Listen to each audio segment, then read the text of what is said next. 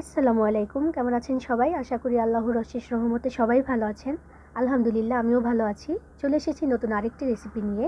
আমার আজকের রেসিপি এক কাপ ময়দা দিয়ে মজার একটা নাস্তা। এটা বিকেলের চায়ের সাথে কিন্তু বেশ জমে যাবে এবং অতিথি আপ্যায়নেও কিন্তু এটা খুবই ভালো হবে। তো কীভাবে এটা করলাম সেটাই আজকে দেখাবো। চলুন দেখে নেই। তো মজাদার এই নাস্তাটা বানানোর জন্য যা যা লাগবে আমি একটু দেখিয়ে দিচ্ছি। যেমনটা বললাম, এক কাপ ময়দা লাগবে আমার।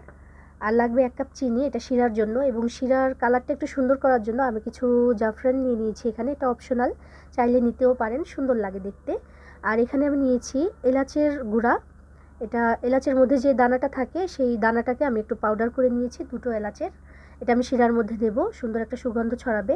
আর নিয়েছি আমি একটু লবণ, এক চিমটি লবণ নিয়েছি আমি। আর এখানে আছে দুই টেবিল চামচ ঘি, ঘিটা এখনও মেল্ট হয়নি।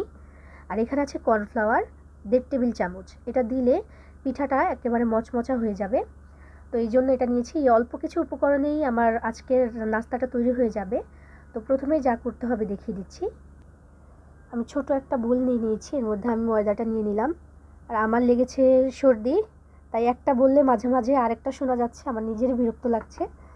এর মধ্যে আমি এখন দিয়ে দেব সেই লবণটা। ময়দার সাথে দিয়ে দিলাম লবণ। এবার এটাকে আমি ভালো মতো একটু মিক্স করে নেব লবণটার সাথে। আর দিয়ে দেবো এই যে কর্নফ্লাওয়ারটা এটাকে আমি ভালো মতো এটার সাথে শুকনো অবস্থাতেই মিক্স করে নিলাম। এবং এরপরে আমি দেব যে ঘিটা আমি নিয়েছি, সেই ঘিটা আমি নেব।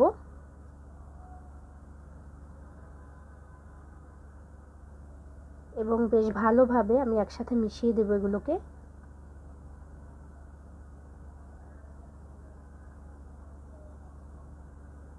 এভাবে একটু ডলে ডলে মিশিয়ে দিতে হবে ঘিটা।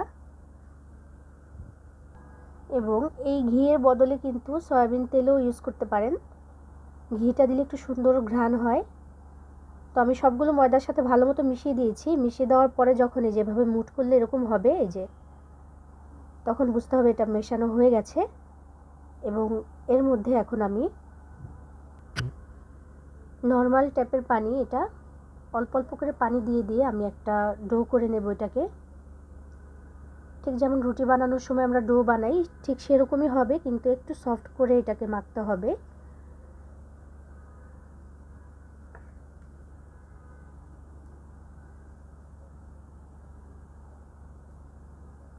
আরও একটু পানি লাগবে।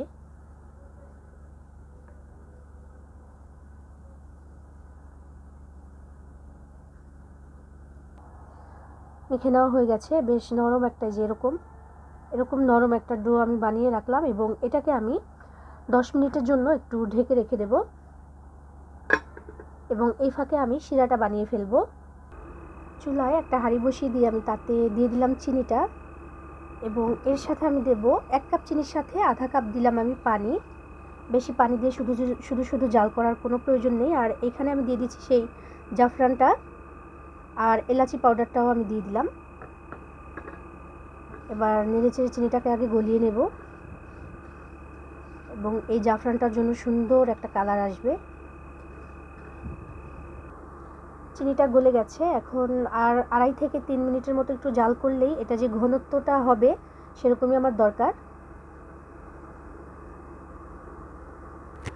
হয়ে গেছে আমার শিরাটা। আমি কোনো এক তার অথবা দুই তারের কোনো শিরা বানাইনি। বেশ ঘন একটা শিরা হয়েছে, এতেই আমার হবে। এবং চুলাটাকে অফ করে দিয়ে আমি একটু লেবুর রস দিয়ে দেবো এখানে। কয়েক ফোঁটা লেবুর রস দিয়ে দিলাম, যাতে এটা জমাট জমাট বেঁধে না যায়। তো এবার আমি এটাকে এক সাইডে রেখে বাকি কাজটা সারবো। দশ মিনিট পরে এই ডোটা কিন্তু আরও সফট হয়ে গেছে। দেখে বুঝতে পারছেন হয়তো বা এই যে একদম সফট হয়ে গেছে, এটাকে আমি আরও একটু মথে নেব।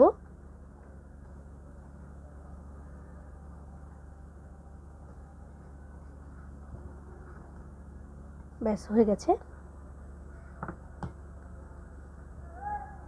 বেশ খানিকটা ময়দা ছিটিয়ে নেব আমি এখানে।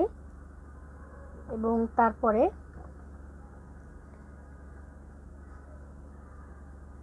এটাকে আমি একটু ভাগ করে নেব।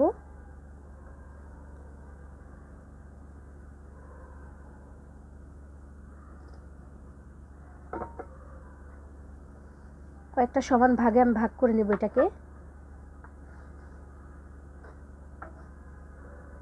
চার ভাগে আমি এটাকে ভাগ করে নিলাম। এবং একটাকে নিয়ে আমি এভাবে একটু গোল করে নেব। যদিও এই রুটিটা যে আমি বেলবো, এটা কিন্তু আমার গোল হতে হবে এমন কোনো কথা না। কারণ হচ্ছে লম্বা শেপে একটা রুটি আমাকে বেলে নিতে হবে প্রথমেই। লম্বা করে আমি একটা রুটি বেলে নেব এখান থেকে।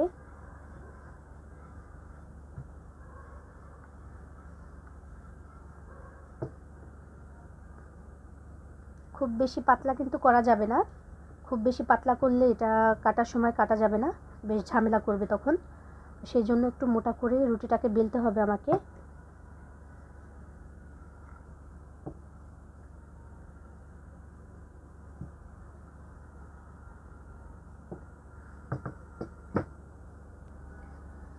যেমনই হোক, লম্বাটে একটা রুটি এখানে বেলে নেওয়া হয়েছে এবং এরকম একটা কাটার দিয়ে আমি সাইডগুলো একটু কেটে সমান করে দিচ্ছি। পুরোপুরি সমান এত দরকার নেই, একটু শেপ হয়ে গেলেই হবে।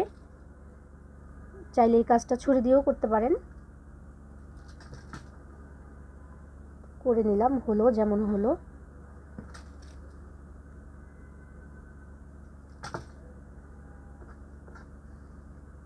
এবার যেটা করব এপাশ থেকে এক আঙুল এবং এপাশ থেকে এক আঙুল বাদ দিয়ে আমি মাঝখান থেকে কেটে নেব। সেটারও গ্যাপ থাকবে এক আঙুল করেই। অথবা ধরেন আধা ইঞ্চি। এই, এইভাবে। এটা আসলে বলে বোঝাতে পারব না, এটা দেখে বুঝে নিতে হবে। এইভাবে করে আমি এই পাশ থেকেও আধা ইঞ্চ করে বাদ দিলাম এই পাশ থেকেও আধা ইঞ্চ এবং মাঝখানেও গ্যাপ থাকবে আধা ইঞ্চের মতোই।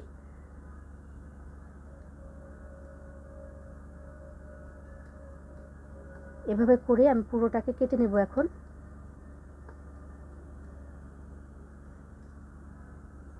কেটে নেওয়া হয়ে গেছে, এই যে এভাবে। কেটে নেওয়া হয়ে গেছে, এবার আমি এই মাথাটা এবং এই মাথাটা একটু পানি দিয়ে দিলাম।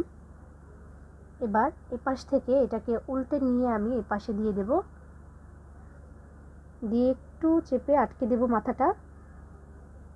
আশা করি দেখে বুঝতে পারছেন। আটকে দিয়ে এবার আবার এই পাশটা এবং এই পাশটা একটু পানি দিয়ে দিলাম এবং এটাকে আমি এভাবে আবার একটু উল্টে দিলাম এবং এই মাথাটাকে ভালো মতো আমি আটকে দিব এবং দেওয়ার পরে এই মাছ বরাবর থেকে এভাবে আমি দুটা ভাগ করে নিলাম। দুটা ভাগ করে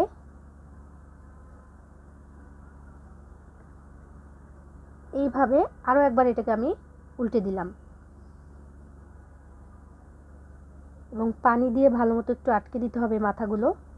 একটু পানি দিয়ে আটকে দিলেই আর ছুটবে না এটা। এবার মাঝখান থেকে আমি আবারও একটু দুই ভাগ করে দিলাম এই কাটা অংশগুলো থেকে। এবং এরপরে আমি যেটা করব, এই যে যে মাথাটা, এই মাথাটাকে একটু মুচড়ে আটকে দেব ভালো মতো।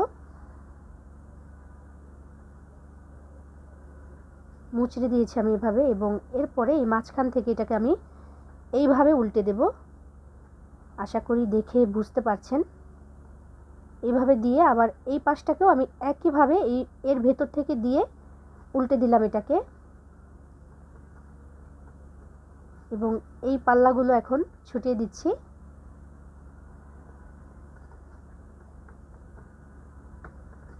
এবং একইভাবে আমি এই কাজটাই আবারও করব। দেখেন, বেশ এভাবে একবার দিয়ে দিলাম এবং এটাকেও আমি একইভাবে আরও একবার এভাবে উল্টে দিলাম এবং এটা দেওয়ার পরে সুন্দর একটা ভাজ খেয়েছে এখানে, এই যে মাথাটা এবং এই মাথাটা একটা সুন্দর একটা মোড় খেয়েছে। এই হচ্ছে আমাদের পিঠা। বাকিগুলোকেও আমি এভাবেই করে নেব এবং ভাজতে চলে যাব চুলায়। পিঠাগুলো আমি সব বানিয়ে নিয়েছি। আমি চুলায় একটা প্যানে করে তেল গরম হতে দিয়েছি। তেলটা এতটাও গরম করব না যে খুব বেশি তেতে গেলে তারপরে কিন্তু পিঠাটা দিলে সেটা উপর থেকে রঙটা ঠিকই মনে হবে যে ভাজা হয়ে গেছে, কিন্তু ভেতর থেকে কিন্তু নরম এবং কাঁচাই রয়ে যাবে। তো সেই জন্য তেলটা অল্প গরম করে তারপর আমি পিঠাটা দেব যাতে উপর এবং ভিতরে ভালো মতো ভাজাটা হয়। তেলটা গরম হয়ে গেছে, আমি এখন পিঠাগুলোকে দিয়ে দিব। বিসমিল্লা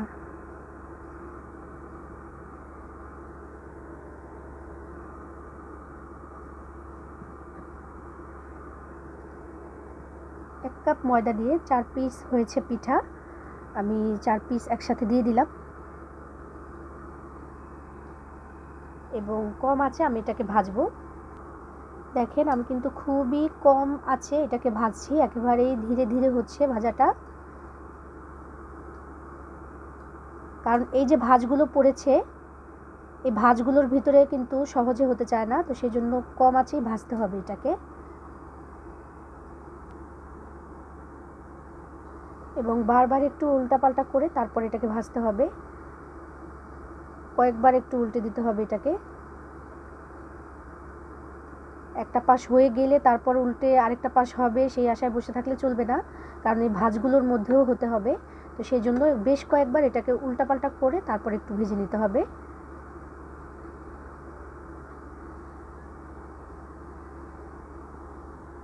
আমার পছন্দ মতো কালার হয়ে গেছে। এই যে দেখতেই পাচ্ছেন। ব্রাউন কালার হয়ে গেছে, সুন্দর। এখন আমি এটাকে তুলে নেব। তেলটা ছেঁকে আমি তুলে নেব এটাকে।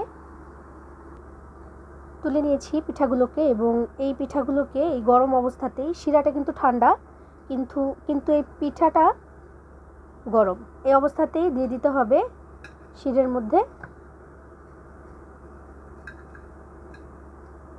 এবং এটাকে রেখে দেওয়ার কোনো দরকার নাই। একটু মিক্স করেই উঠিয়ে ফেলব আমি। মানে এই শিরাগুলো একটু ওটার মধ্যে ছিটিয়ে দিয়েই আমি উঠিয়ে ফেলব এটাকে। ভিজিয়ে রাখার কোনো দরকার নাই।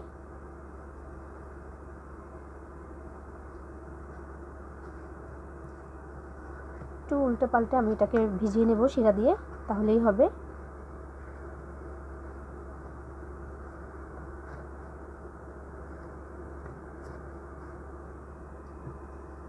বাকিটাকেও দিয়ে দেবো।